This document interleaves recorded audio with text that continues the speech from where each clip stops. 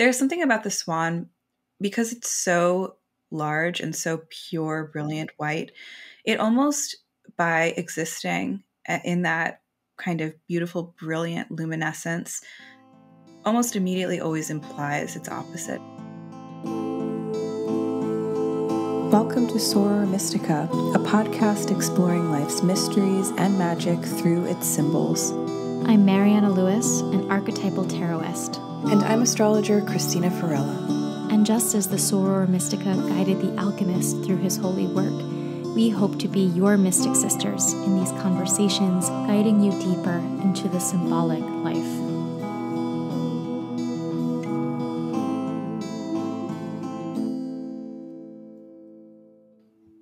Hey, everybody, welcome to the 17th episode of Soror Mystica. Today, we are talking all about the symbol of the swan. And as uh, this summer progresses, Cristina and I have been looking at how the podcast is doing, and we are extremely thrilled that there's a lot of you out there listening. We've gotten so much good feedback. So, if you haven't given us your feedback yet, we'd really appreciate you leaving us a review either on Spotify or Apple Podcasts or wherever you do your thing. Um, it's it's really just been astonishing that people actually like us rambling about the things that we we're obsessed with. I never really would have imagined that people would have enjoyed it. I really thought that people would listen to one episode and be like, "These people are annoying," and and shut it off. But that's not no not way. happened thus far. At least not not for we're charming. Listeners. We're charming. I like that perspective. Um, I think that we like to talk about the things we like to talk about, and thank God there's other people who like to talk about them too. uh, um, all right, so let's jump into it. Why don't you tell me, uh, as always, what you're reading? Hello, everyone. Hello, Mariana. This Hello. week I am reading many various texts on Greek myth and hymn because mm. I'm in the hmm. middle of teaching my mythology for astrologers class, which is really, really fun and definitely a treat. So each week I've been providing people with um, just like PDFs basically of reading material from Ovid or from the Homeric hymns. Um, and so I just keep immersing myself in that world. And it's really lovely to be there and um, be thinking about the gods in that particular way. So, not too, not anything too specific, but just like a smattering of books that I keep tripping over or knocking down as I keep building piles in my office, which is fine. it's fine.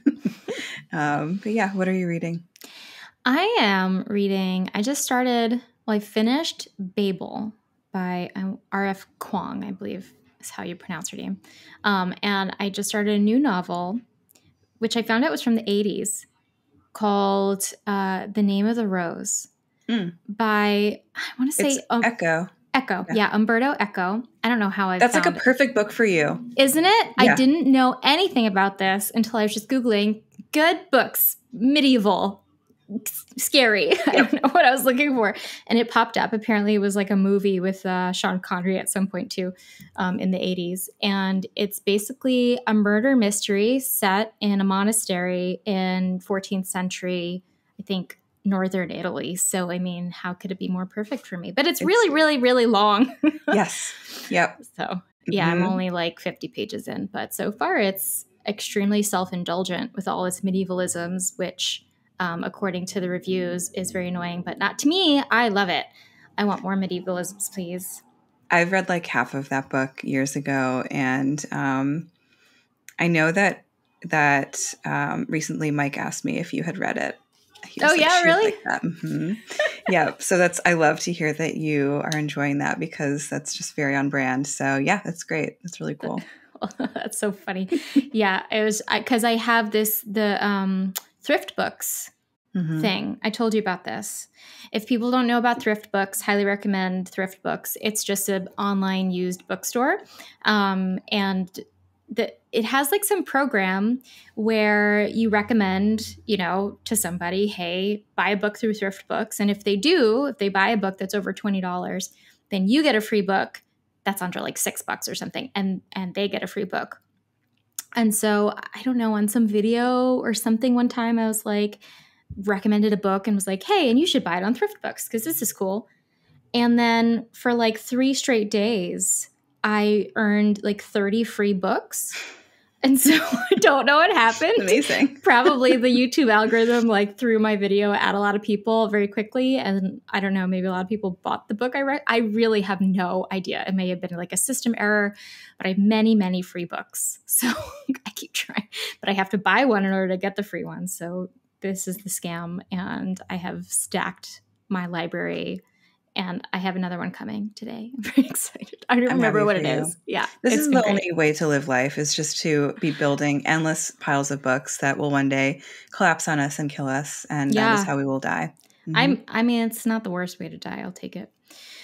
Um, all right. Shall we talk about the swan, the beautiful yeah. swan?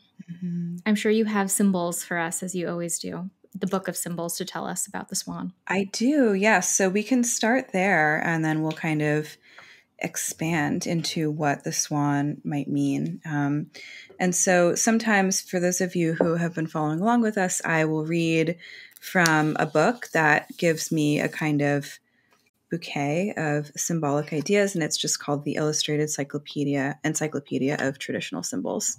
Um, and so the entry for the swan is actually pretty long, um, so I'll kind of skim it, but. Um, it says the swan combines the two elements of air and water. The swan is the bird of life, the dawn of day, and solar.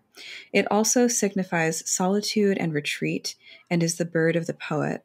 Its dying song is the poet's song. Its whiteness is sincerity. The swan and goose are often symbolically interchangeable. And so this list of places where the swan shows up in mythology kind of goes out from here, but there are affiliations with um, the duality of light and day, day and night. Um, and there are qualities of the god Apollo and Aphrodite. And there's even something about death and lamentation in the swan. So we have a lot of really interesting territory to expand into. And one of the things that I really enjoy most on this um, kind of continued conversation is when we get to touch in with nature oriented imagery it just really piques my like earth sign mm-hmm. preferences and sensibilities and i enjoy thinking about the ways that these um, creatures are just you know naturally occurring naturally existing and yet have so much poetic power behind them or mythic symbolic power behind them i find that to be totally fascinating. So I'm excited to talk about a creature uh, today mm-hmm. in this, it's in our, show. It's our first creature. We were mm-hmm. um, discussing that on our our mini vacay together, mm-hmm. which we got to do, which was a delight because you live on the other side of the world, which is terrible. Um, but we got we got a day or two at the beach. Yeah, um, we sat by the ocean yeah. and complained bitterly for five hours straight. and read. we did. Well, we pretended to read. Oh no, we held our books. We, we, we held now. our books. we held our books for like three hours, and we're like, "Are you going to read?" Because we can keep gossiping, and then we, we just, just, kept chatting. gossiping. Mm-hmm. And we ate leftover pizza. And we saw someone catch a shark, and it was did. terrible. That was horrifying. I was not about. And then I almost burned the, all the skin off my foot. Mm-hmm. That was the mm-hmm. only place I got burned because I always do that. I always just burn one random part of my body and nothing else. So, but it was a great day. Um, and we were like, we've never done animals. And so I'm really glad that we're doing the swan, starting with it, because we both got fed the same um, Instagram reel. Mm-hmm. which made us think about swans, mm-hmm. which is mm-hmm. also very cute. Um, and it was that reel where there's two swans and one of them had had an injured wing or something like that and they returned it to the lake and they they're like life partners and these two swans are swimming to each other doing this gorgeous dance of just like moving their heads back and forth and like chattering their beaks at each other and it was it was very moving and then we're both like let's do swans mm-hmm. um, and i think that the um, symbols book offers so many things to to explore with the swan. I love that it brings in the idea of lamentation, the swan song, um, and the the solar energy, the masculine energy too. The swan. A lot of people think of swans having a feminine energy because they're beautiful, but actually, there's a, a lot of uh, uh, masculine kind of attachments to the swan. Yeah. And I think that the the swan for most of us, initially, we think of beauty and we think of grace. We think of this, they have these beautiful long necks Um, and they have this way of gliding on the water. I have um, I, I make most of my vacations to Europe because I'm obviously obsessed with medieval culture.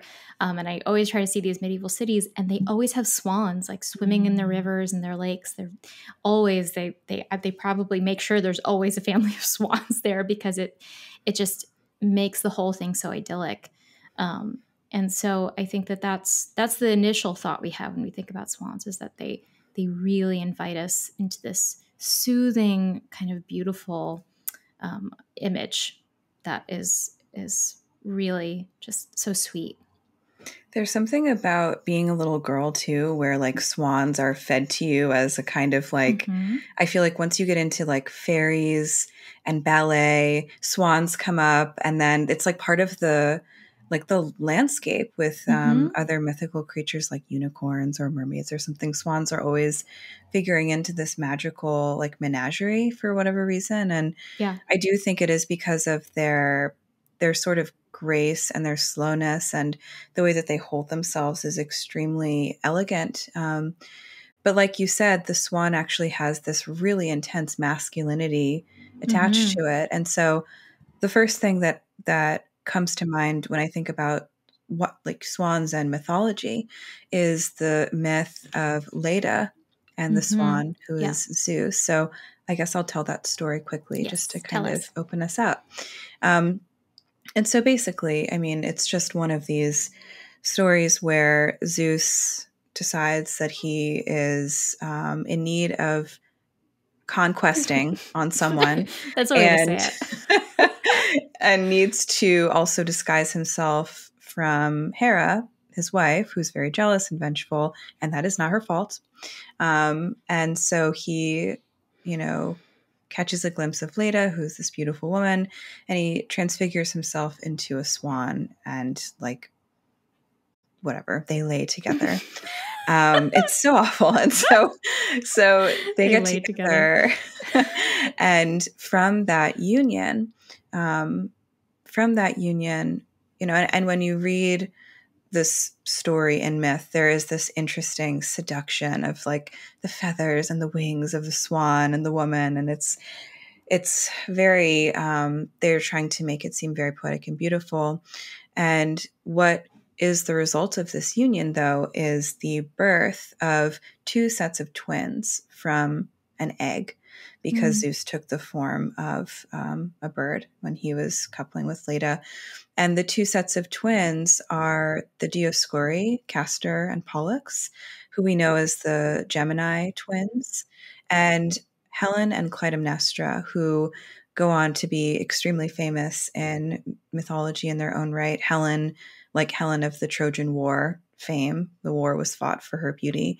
And then Clytemnestra, the ill fated mother of Iphigenia, who winds up mm. in a really tragic family uh, family tree explosion because of the events that happen during the Trojan War. And so yeah. there is this interesting sort of suggestion of duality and doubling in the product of the swan, um, you know, the byproduct of that union. And so the interplay between divine and mortal or light and dark even masculine and feminine. There's a set of male twins and a set of feminine twins. So there is um, a lot that seems really strangely packed in there. But zeus was the god of gods. He was yeah. the one in charge of Mount Olympus. And so, thinking about his impact as the swan um, really makes us remember that the swan in this story is not this graceful, gentle creature, but a very greedy, patriarchal, forceful, all consuming guy. Um, and yeah. so, there's something in in that complexity, I think, that's really interesting. Yeah. Um, I know that swans are like the actual personality of swans is is said to be very aggressive. They're mean. Have you yeah. ever been chased by a oh, swan? I've not been chased by oh, Okay, you, you must have tried to feed ducks in your spare time. I've I've seen some some swans snapping at at other birds, but I've never I've They're never myself been chased by one. mm-hmm. Mm-hmm. Well, I think that the idea of the doubling is so fascinating because we we do have um, this white swan black swan duality that we see a lot. We have um, just just the image itself. The the black swan is an actual you know bird that's out there, um, and we have you know the movie Black Swan, of course, which is so ridiculously Jungian um, and um, very very fascinating because I mean no spoilers, but there's there's two sides of of the you know there's the uh, I forget her name, but the main character is in Swan Lake, and she's she's portraying the swan, and so she is the epitome of grace and beauty. And then at the same time, there's this really really dark energy, and there's this this like alternate kind of version of of the swan that is black and and shadowy um, and so we see that in in that movie and of course we know that that is a representation in some way of the shadow, the ego and the shadow. Um, and it makes me think also of Hilma af Klint's um, image, uh, her painting of the the swan, which is so gorgeous. Mm-hmm. Um, their their necks like connect, right? Like their beaks. I think that their like beaks that. touch. Yeah. Yeah. Mm-hmm. Um, and then, but they kind of it's so pretty how they move into each other, and there, there's this um, you know, opposition between the the light and the dark. Um, and so I, I totally agree with you. There is something about this. The black swan is also beautiful, though. You know, it doesn't lose its beauty because it's it has this darkness about it. Um, I I've told you before. I when I was in um, undergrad, I was a vocal major. I was a classical singer person, um, and one of the uh, arias I was assigned was by Menotti from his um, opera The Medium, and it's called Black Swan. And it's it's so dark, and I highly recommend people go listen to it. It is a beautiful aria, um, and it's basically a woman, and the the just the lyrics are stunning. It's like, you know, the sun has fallen and it lies in blood, and the moon is weaving bandages of gold. And the imagery is just so lush and, and exquisite. But there's this feeling of darkness and sorrow and lamentation all throughout it um, without losing the beauty that this one represents. And so I find that just gorgeous and, and very um, captivating that energy of, of that dark swan in juxtaposition with with the light swan and the beauty they both mm-hmm. hold. Oh yeah, absolutely. I think that I mean, yeah, I recently saw Black Swan for the first time. I don't oh, know really? why I, I, didn't see it before, but yeah, recently caught up with that. That was crazy bananas film. Yeah, and you know me and scary movies, but I could say I can handle that. I can handle it. Well, that's more psychological. Mm-hmm. Yeah, that's everyone not... listening. I don't like scary movies. Don't ever make me watch one, please. I won't do it. Stefan wants me to. My husband wants me to um, to have Cristina watch Hereditary. So if anybody out there not. has watched Hereditary, I will not be doing that. You all can do that by yourselves. It's really good. it's extremely. I believe good. in Ari Aster as a filmmaker, but I do not need to see Hereditary because I know things that happen and I saw Midsommar and you all can settle down and that's my that's my limit. Midsommar was great. I love that one. Yeah. That one was not nearly to the level that Hereditary is. It's no great. No, great no. film. It's crazy anyway, um, I think that the duality, uh, there's something about the swan because it's so large and so pure, mm-hmm. brilliant white. It almost by existing in that kind of beautiful, brilliant luminescence almost immediately always implies its opposite. It's one of those things mm, that's like, yeah. this is so much what it is. This is so solar, this is so bright and dazzling that we almost always immediately reach for the opposite thing, at least I think in our symbolic imagination. And so, I love that. You know, Hilma painting the white swan and the black swan, but having their noses or their beaks touch implies this continuum between yeah. the the binary of dark and light and i think that that's why the swan is so compelling because it does have this almost just like um, you know untouchable purity that's associated yeah. with it but then what there's we know from Jungian thought, from mythology, that everything always contains its opposite or traces of yeah. its opposite. So yeah. I think that that's something that's really fascinating um, mm-hmm. in that mm-hmm, in that. Space. Yeah, I love how you said that. It's so it's so beautiful.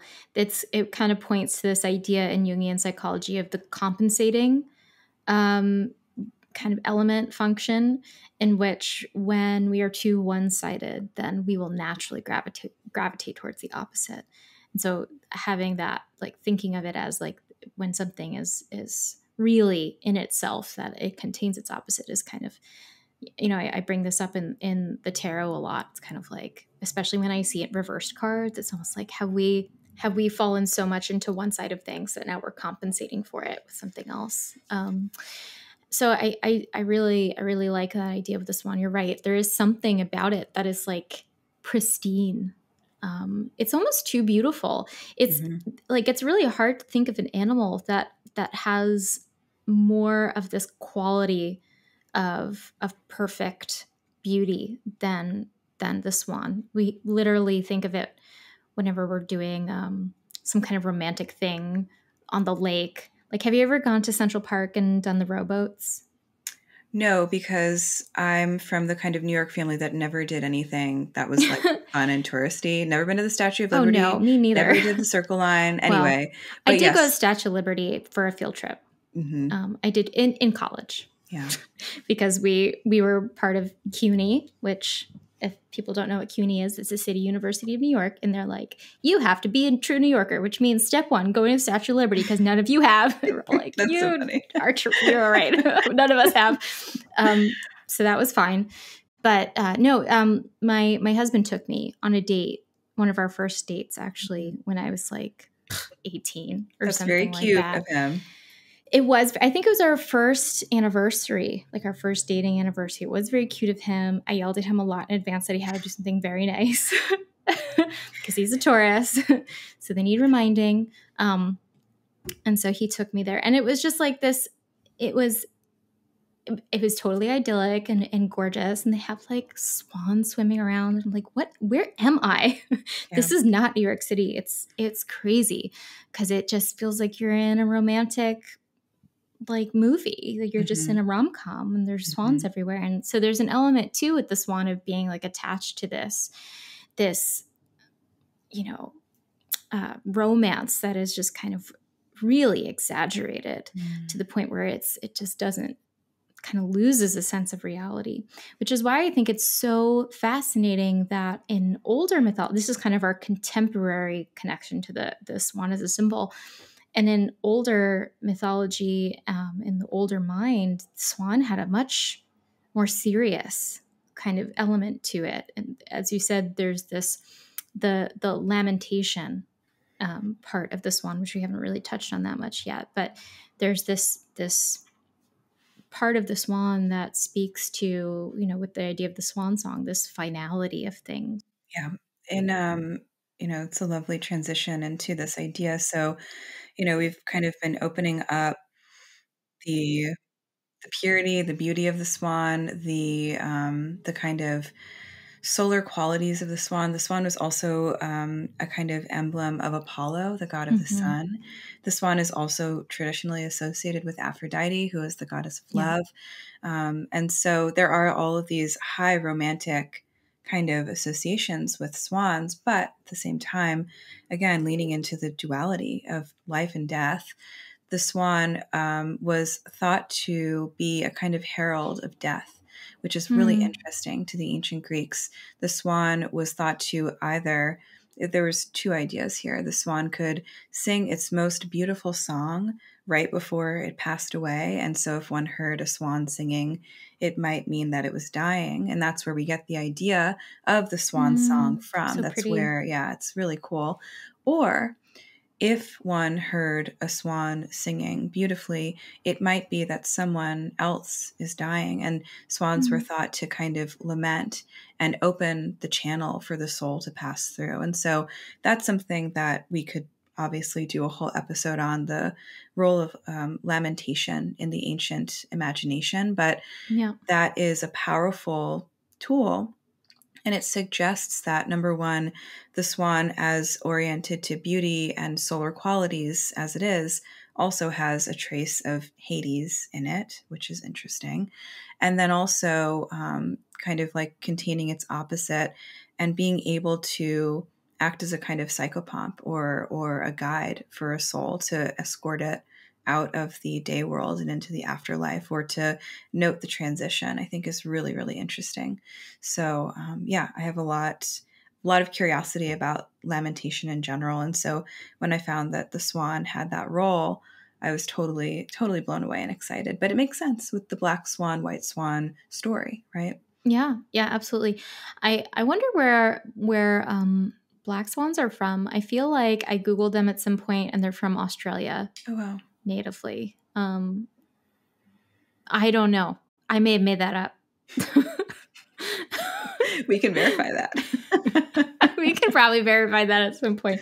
Um, but yeah, I, I, I think that's also so gorgeous how, you know, lamentation you know you've you've done a lot of studies on on lamentation in the ancient world specifically in ancient greece i remember when i first met you, you were writing a paper for, I don't remember what class it was, but you were writing a paper on that. And it was, I was very smitten very quickly because my Scorpio self was like, she's writing a paper on death. cool. um, uh, but yeah, so I, I, I think that there is something extremely, extremely beautiful about about the willingness to to bring art and music um, to death, right? That's kind of the idea of lamentation is that there is grief. That's that's its main function is to process the grief, allow the grief to come out in a physical way, but it's also to make it moving and, and beautiful. Um, and I think that that's that's kind of this idea of the swan singing um, to signify this this moment of death and the the passage of death. It brings that that tremendous grace and beauty to it. I always think of because i'm such a lord of the rings idiot um the, the uh, there's a scene and um i think the second one they all just blend into one at this point because I always just watch them all the way through. Um, but I think it's in in the, Two Towers um, where some people have have passed away, and Eowyn um, goes out and she sings this this lament. Um, and she has no other voices with her. It's just her. And her voice is nice, but it's not that pretty. It's just kind of rough, and uh, it's it's one of the most moving like things in in that series for me watching that i always i always cry for no reason even though i don't care about about the moment it's like the song is what is is so like it, it releases the grief you know that we have mm-hmm. stored up mm-hmm. so i think that it's so special that this the swan has that has that element i've never actually heard a swan right so sing. this is this is one of those areas where i you know have come across this info and i'm wondering do swans actually make do they sing? Like what is this about? I needed to google this. I needed to like look for a youtube video of it and i didn't um oh but that's I was fine. really excited. I was like what no, is know. it so i don't know if it's like a mythical thing saying oh they only they sing rarely um, and when you hear something that sounds like a swan singing, that's you know someone's That's so dying. interesting. I'm yeah. worried now that they just like honk or something terrible. I think they definitely do, but there must be some other kind of behavior. I mean, the thing about them that's so interesting is like if you like we were talking about with that little reel that we were both advertised, they have these elaborate rituals um, of like yeah. mating and maintaining relationship with one another, and so they also have uh, just this very mysterious kind of architecture, like psychological architecture that they seem to exist inside of.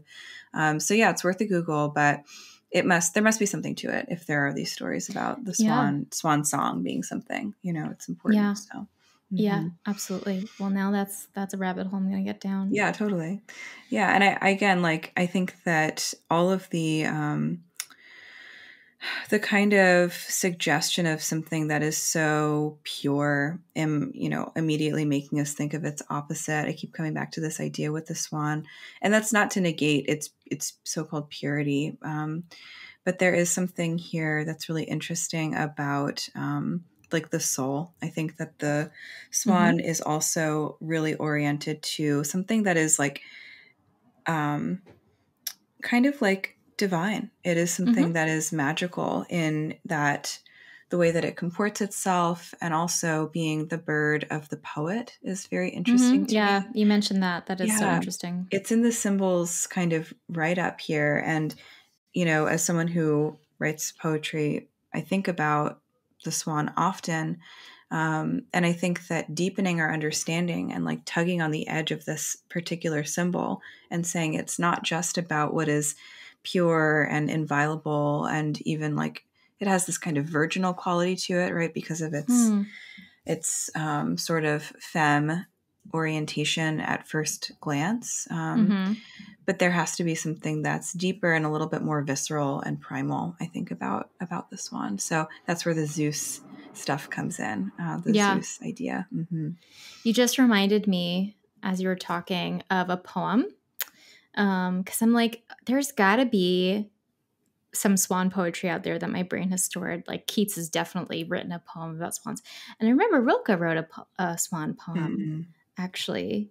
Um and i i just remembered it's it speaks so beautifully to what we're talking about. So i'm going to read it actually because i pulled it up here and it's it's short. So this is the swan by rilke rainer maria rilke. This is um don't know who translated this one, um, but alas. This laboring of ours with all that remains undone, as if still bound to it, is like the lumbering gait of the swan, and then our dying, releasing ourselves from the very ground on which we stood, is like the way he hesitantly lowers himself into the water. It gently receives him, and, gladly yielding, flows back beneath him, as wave follows wave, while he, now wholly serene and sure, with regal composure, allows himself to glide. That's so Beautiful. pretty. Yeah. Mm-hmm. I think that that's, it's so, um, it's such a, a nice image. Rilke did a, one of his little like passion projects was to write these poems to animals. He has one to the panther and other ones. I, I've read a lot of them in the past. Um, and there's this idea that he has in this poem of the releasing of ourselves and the allowing of ourselves to just glide, to just kind of embrace this um, this majesty that we can have if we let go, we allow, allow ourselves to be somewhat undone. Um, and I think that that there's something about that in this one too. And another thread I want to pick up as well. You mentioned the word purity a few times. We were, we talked about this a little bit right before we jumped on.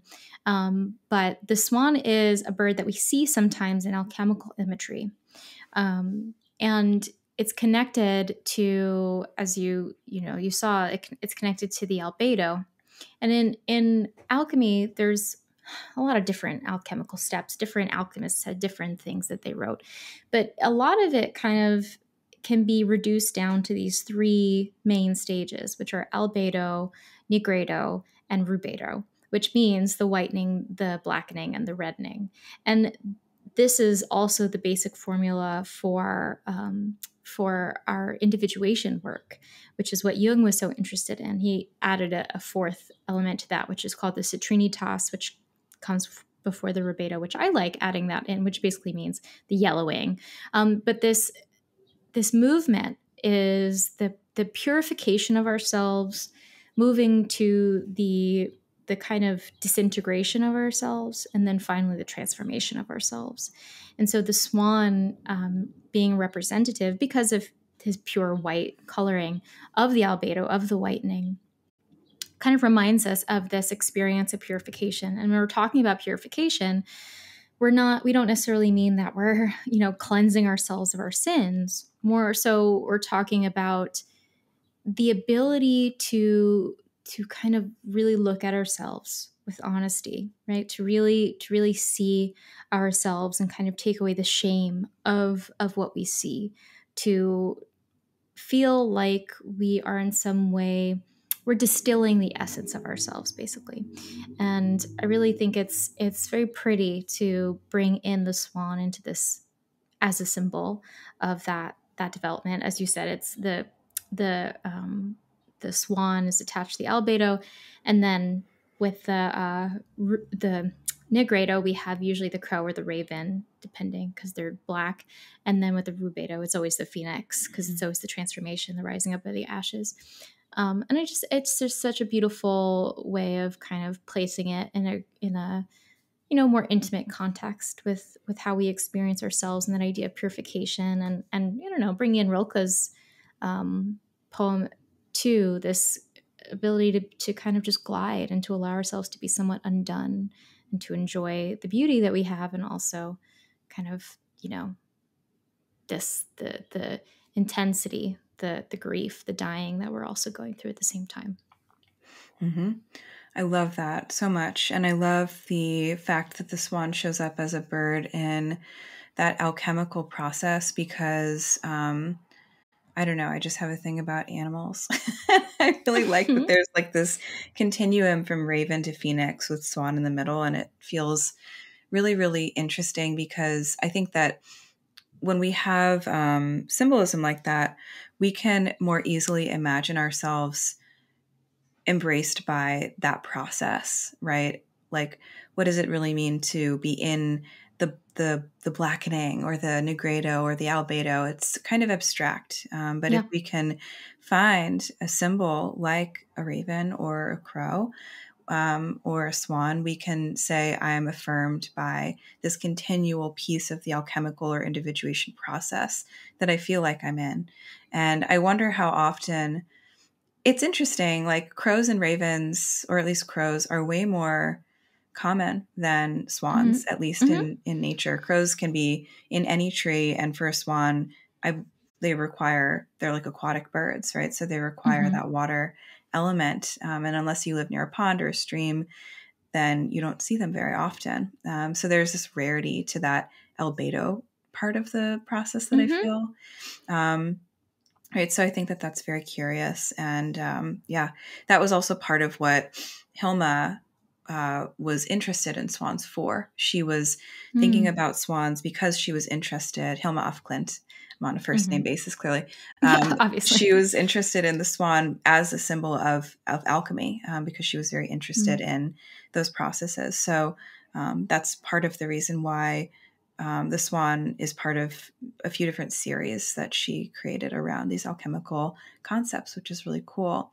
Um, always in pursuit of the philosopher's stone, right? That's like, yeah. Mm-hmm. Yeah, aren't we all? Aren't we all? Yes, totally. We're all here doing that. Mm-hmm. Yeah, I think that the the swan is something. You know, when I was a kid, I didn't I didn't really like swans. I was very anti swan, and I think it was because I was supposed to like swans, being a girl, um, and a girl who liked pretty things. Hey, you were a girly girl. I was a girly girl. Yes. Um, I, but you know, I hated Lisa Frank. Wow. explain that. I wow. Know, I did not like. You know, I didn't like purple. But you love pink. I am obsessed with pink, but so I'm, what is your problem? I, I, it's a very specific shade of pink. I do not care for hot pink or bubblegum pink. Mm-hmm. Those are horrible. What's your ideal pink? It's it's like a, a rose mauve pink. Okay. It's extremely specific. I I cannot. I'm shocked. Look at my Instagram. I have an obsession with this color. Um, but I don't, I did not like purple at all at the time. And so Lisa Frank is like bubblegum pink and purple. Um, and I wasn't a fan. But anyway, there's, I feel like, you know, I, all of the the folders and notebooks and whatever that was on it's always like a swan and a koala and that's mm-hmm. like it and not, she had a lot not, of dolphins and i liked the dolphins do- i don't like dolphins either or didn't as a kid at least um, I'm very anti-conformist and so anti-conformist that I'm anti-anti-conformist. I'm proud of you. Analyze me. Um, no, I just didn't want to like things that other people liked, and so I was very like, "Ew, swans are gross. They're dumb. Who really likes them? Nobody."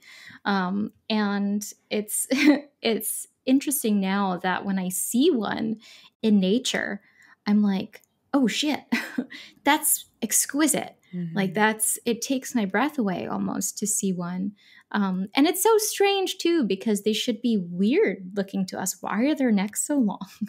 why why are they so big? They're scary that they're so big. You know, I uh, for my honeymoon, my husband and I went to Paris, then we went to London, and we were in I want to say we were in St. James Park. Um, and the, the, park is pretty, but like the main feature is the birds. They they keep birds like it's a whole zoo mm. in this mm. park. It's so cool, and we were just like following swans, just walk, like walking down the path, and there's a whole bunch of them in the in the you know pond, and and I was just like I felt like I was in a dream world. It was really it. They really have this way of transporting you, and you feel like you're in a magical place. It's it's so fascinating to me how they have that that capacity because as you said you'll see a crow and you'll be like ah no thanks or you'll see even a raven and be like that's unusual but it won't have the same effect as seeing a swan there's something about it that's like oh my god like i am in a romance right now and, yeah. and it is intense when i see crows i just feel like a witch i'm like hello my friends you see a lot of them yeah I don't know. You see too. We what did? How many were on that tree? We were when we were on the beach there was oh um, oh an extremely creepy tree, uh, driftwood tree that someone had stuck in the sand, obviously to do some kind of medieval torture um, to a witch, probably. And uh, there were just crows sitting on top of it. And I was like, oh dear. I think that there were four. I think that there were four. Am I wrong? I don't I don't remember exactly. Yeah. We have to find I have to source where this is. I think it's in the uh what's that Welsh book of the Mabinogion. Thank you. Wow, that was very quick. gotcha. um, I could every time I try to pronounce it, I I don't know if I'm, I'm saying it right at all. Through. I'm probably butchering know. it. um, but th- I think it's in that where they're like they have the little nursery rhyme about what it means when you see certain numbers of crows mm-hmm. and it's mm-hmm. very specific and it's like if you see two crows it's you're dead and it's mm-hmm. like very mm-hmm. intense i don't know if that's true but yeah celtic um, mythology has so much bird stuff in it and yeah. i think that that's really fascinating um, yeah. yeah. i'm reading in the symbols book for the celtic um, myths swans are solar beneficent they possess the therapeutic powers of the sun and their music is magic. Swans with gold or silver chains around their neck hmm. are the supernatural appearance of the divine. So I don't know how swans are getting necklaces in the wild, but maybe in ancient Wales they are wearing jewelry. Uh, but that's very uh, beautiful. Mm-hmm. That is. I, I think that that's that's something very special to see. I'll look for swans with with jewelry. Um, but yeah, so I think that we've we've covered a lot of of gorgeous things about the swan. There was more to the swan than I thought there would be. I was kind of like, where are we going to land? It's going to be like they're pretty, um, but no, there's so much to them. We'll always find the death in the symbol and talk about that, so you don't have to worry. It's fine. Yeah, well, that's why we're friends because we like to talk about death, mm-hmm. um, but not really. Not really. Not really. we actually just like to talk about cats. That's really what we like to talk about. mostly.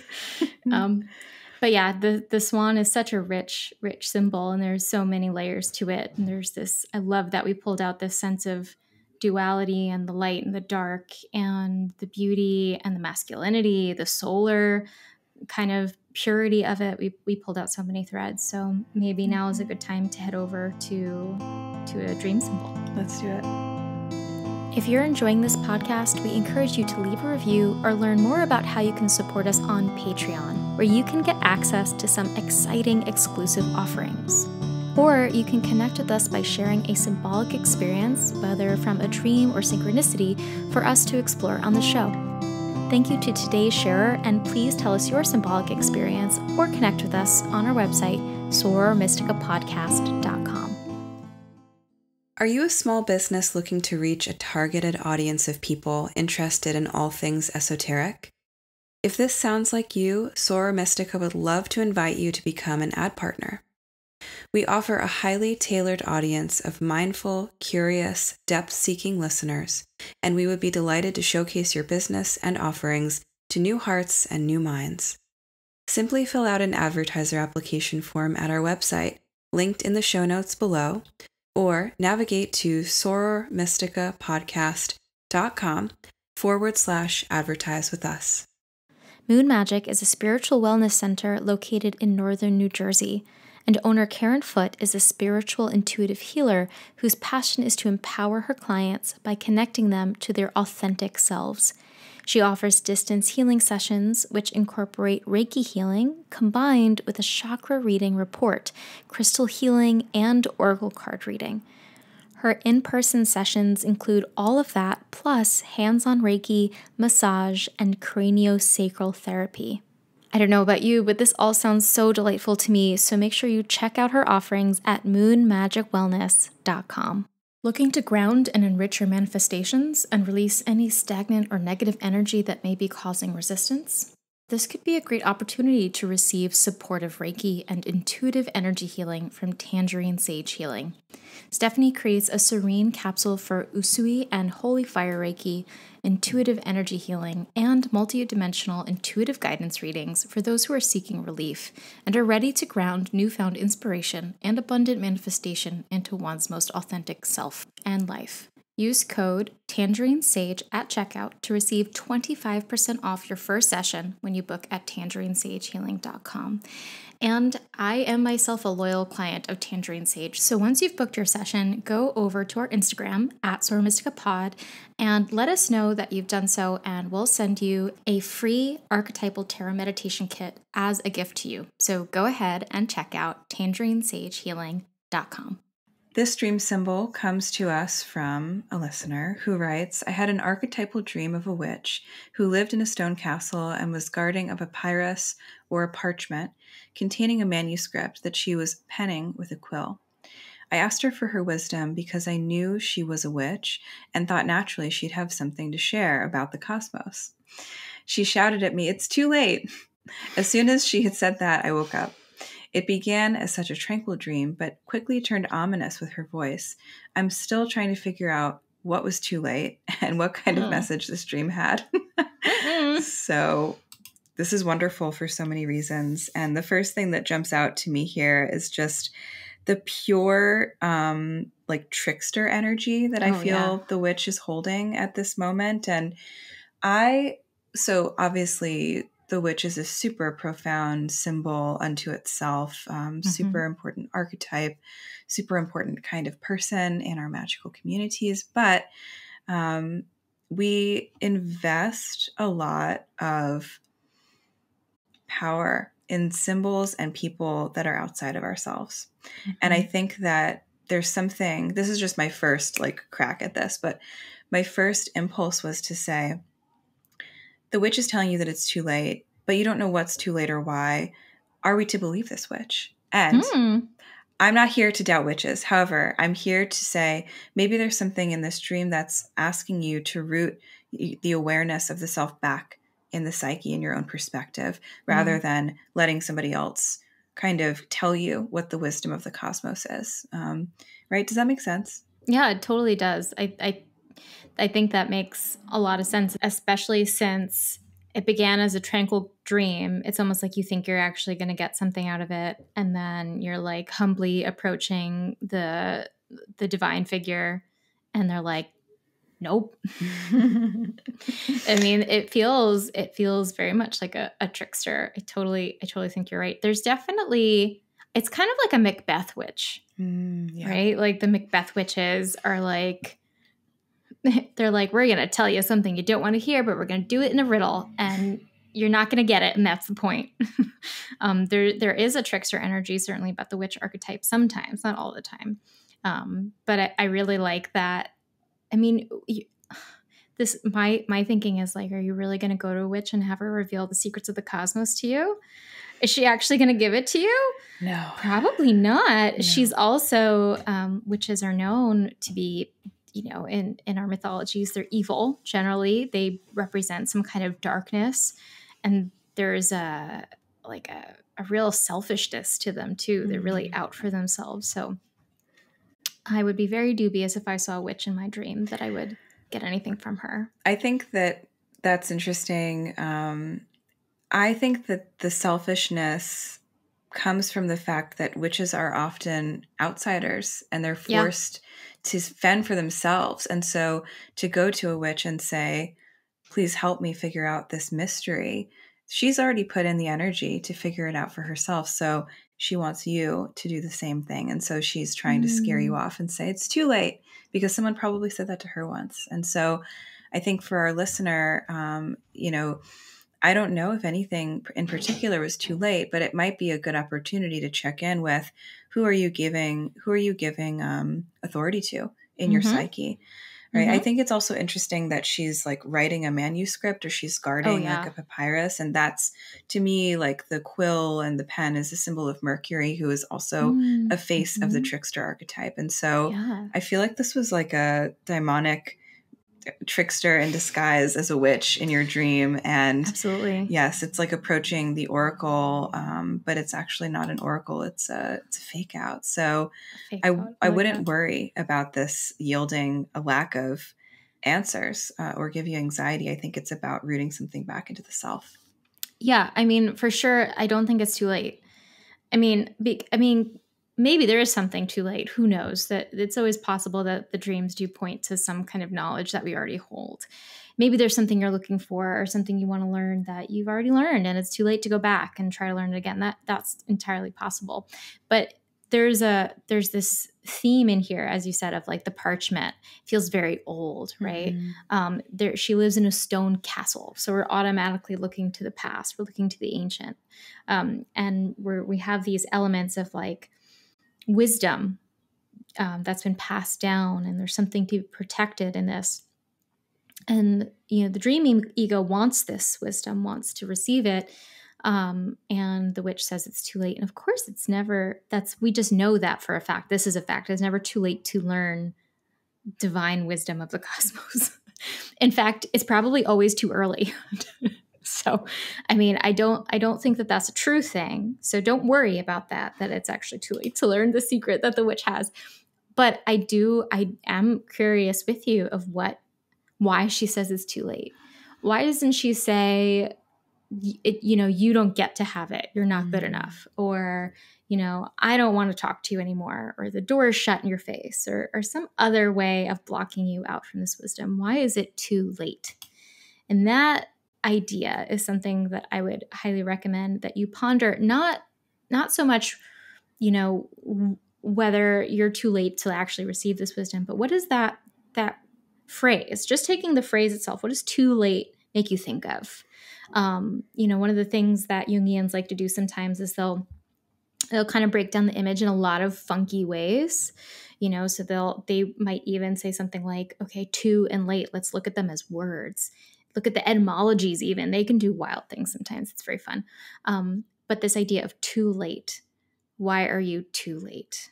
What does that make you feel like? Is there a pressure maybe in your life that you feel like you have to you really have to master this thing or that time is running out for you in some way? Um, that might be a question that i would offer for you to to ponder. Um, also that you know again you're asking for wisdom from a witch and I, I'm assuming, this is an assumption, but I'm assuming because you saw the witch and your dream ego was not afraid, that there's probably part of you in waking life that is kind of interested in witches or appreciates the mythology of witches or the archetype of the witch. But I would also be curious, you know, the witch as an archetypal figure, even though we know that she is an expression of the repressed feminine, repressed feminine autonomy and authority, there is something scary about it still. Where is the fear? Where's mm. the the hesitation to you mm-hmm. know about asking for something so big? Yeah, that's interesting to me too. I love that. Yeah, when I think of the phrase, because now I'm at thinking about answering your question as we're sitting here, and when I think of the phrase "it's too late," I think of Saturn, the planet, and the hmm. oh, god. Oh yeah, right. And I think that um, the feeling of running out of time is a kind of Saturn trick that happens to us. So, oh, yeah. dear, dear listener, reader, writer, I would be curious um, where you are at in your own Saturn cycle. Are you near a Saturn return? Are you near a Saturn square, opposition? Mm, What's going really on for smart. you there? Yeah, astrologically, that might be an interesting thing to tune in with. And I can say that during my Saturn return, that was my like really bad negative mantra like it's too late. I've totally screwed up. I don't have any time left. I'm out of time to complete my thesis to find my path blah blah blah blah whatever i was trying to do. Have a mental breakdown in slow motion. Too late to have a me- mental breakdown. Too late to do anything except call marianne on the phone and cry. And so but it's not true right? So that's the thing mm-hmm. as well and that's the other i think beautiful message that comes from tools like tarot and astrology is that it's really honestly usually not too late for whatever it is we're trying to discover or find. Maybe we have missed one angle of an opportunity, yeah. but we are always in process with these questions. And so um, I think that figuring out how to dispel the anxiety of things really being too late is uh, also part of something that the dream is offering you the opportunity to do. So, yeah, Mm-hmm. Said so beautifully. I I really like this dream. I think it's something to continue to sit with. You described it as an archetypal dream, so it obviously felt like it had some power for you. Um, and maybe active imagination would be interesting. She would probably just tell you it's too late again and shut the door in your face. It, it could be. Um, but I, I think that exploring the witch less is the witch and more is the trickster. I mm-hmm. think that mm-hmm. you're right, Cristina, that there's something about this trickster trickster energy dressing up as in a way that you might have some reverence for, but it's actually the trickster kind of in disguise. Not totally in disguise because the witch can also be a trickster too in some ways, but there's just something about it that feels like because the point of the trickster, and we will have an entire episode on this. Yeah, clearly we, we need to feel like we can not it won't ruin our lives. Um, the the whole the whole thing with the trickster is that it tricks you in order to shift the perspective dramatically in a way that you really didn't anticipate. So it's supposed to mess you up a little bit. It's kind yeah. of the point.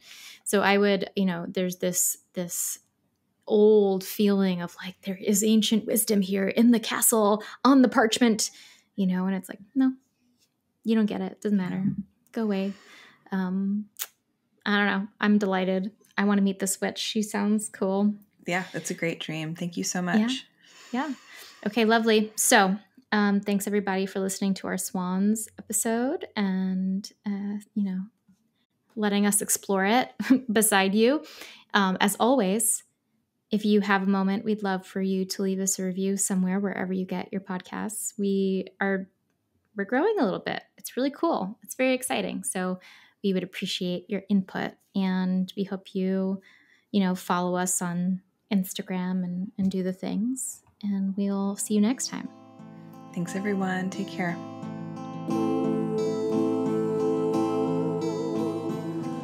Thank you for joining us in our conversation today. Please consider supporting the podcast by leaving a review and following Soror Mystica wherever you listen. You can also become a more active supporter and a member of the Soror Mystica community by joining our Patreon. If you have a symbolic experience that you'd like to share with us for the podcast, you can tell us all about it at sorormysticapodcast.com. The music for this podcast is written and performed by me, Mariana Louis, with special thanks to Stefan Louis. You can connect with both Cristina and myself on Instagram and get to know our work by clicking on the links in the show notes. As the alchemical motto goes, as above, so below, as within, so without. May this ancient wisdom continue to guide you deeper.